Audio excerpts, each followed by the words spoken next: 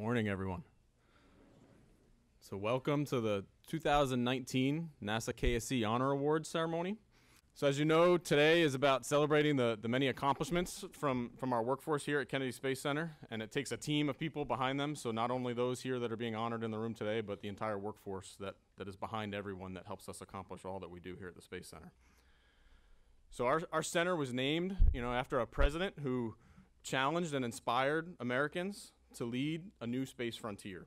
And today, we continue to launch successful science missions for our agency, as well as continuing the human spaceflight exploration that is ongoing today at the International Space Station.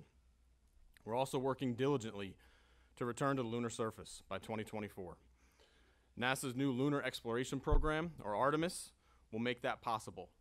Aptly named after the goddess of the moon in Greek mythology, Artemis was the twin sister of Apollo and represents our next generation of exploration.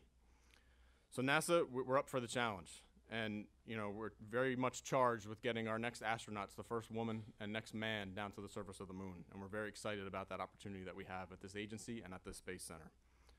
To make that happen, we have a series of missions that are going to take place between now and 2024. Artemis 1 will be the first launch of our Space Launch System, the SLS rocket, along with the Orion space capsule that'll carry our crew. That launch will be an unmanned test flight for us to, to work out the system, make sure everything's right, and proceed as we move forward. Second, we've got Artemis 2, which will be the first manned test flight of that, of that spacecraft and, and launch system going to the moon. So that'll circle the moon and get us back out there, be the first human spaceflight spacecraft in the 21st century to go out to the moon. And then we have a series of missions that'll take place to assemble a gateway in orbit, two missions that'll put together a, a lunar orbiting platform that is the base camp to allow us to get down to the surface, and another handful of missions to bring the technologies, aggregate the human lander, and bring the supplies necessary to enable our crew to go down and, and explore the surface of the moon with Artemis 3 in 2024. You know, going back to the moon is a, a big giant leap for mankind.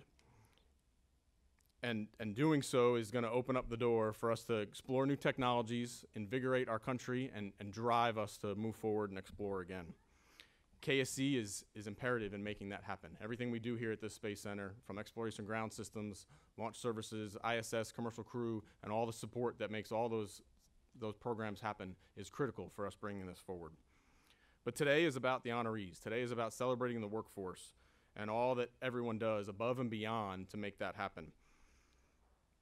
You all represent the best of the best at Kennedy Space Center and all the support that goes behind that to make that happen. So as we thrive in this challenging and innovative environment, we want to recognize the knowledge, skills, and innovation that you all bring to this workforce going forward.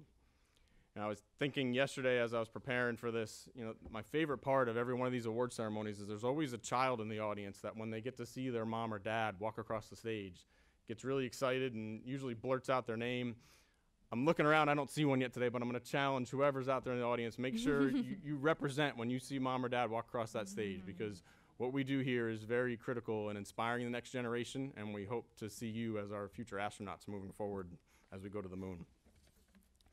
So at this time, I'd like to, to share a glimpse of how you and your hard work and contributions are the stepping stones for our next giant leaps at NASA and the Kennedy Space Center. It's one small step for man, one giant leap for mankind. NASA is building the infrastructure for expanding human exploration into the solar system.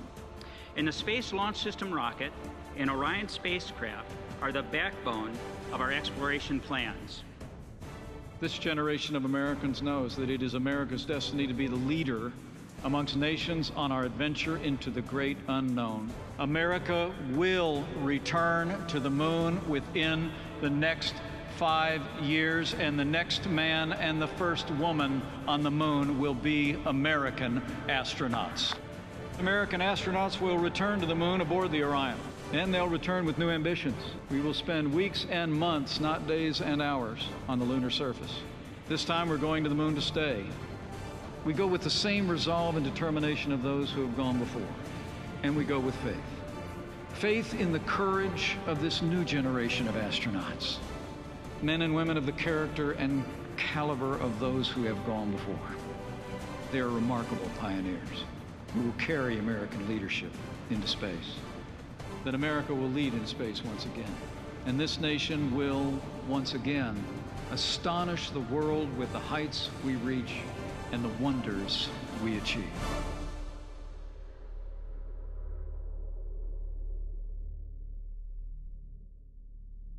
you were watching it, you know, you got to see everything that KSC is, is involved in. And when I look at everything that we're doing, I mean, there's there's hardly anything that NASA does that KSC is not a part of. We make NASA successful. And coming here today, you know, this is one of the most fun things that I get to do. It's it's one of the best parts of my job, being able to honor and recognize all of you for your hard work and achievements that make KSC such a great place to be. Uh, I think you all know this. You know, for seven years in a row, NASA's been number one in the uh, federal government as the best place to work, all right, on the Employee Viewpoint Survey. In this last year, of the 10 NASA centers, KSC was the number one center, all right? Exceptional Engineering Achievement Medal. This prestigious medal recognizes both government and non government individuals for exceptional engineering contributions towards achievement of the NASA mission. Reggie Martin for demonstrating exceptional engineering and leadership abilities during the design, development, and deployment of the KSC ground control subsystem at KSC.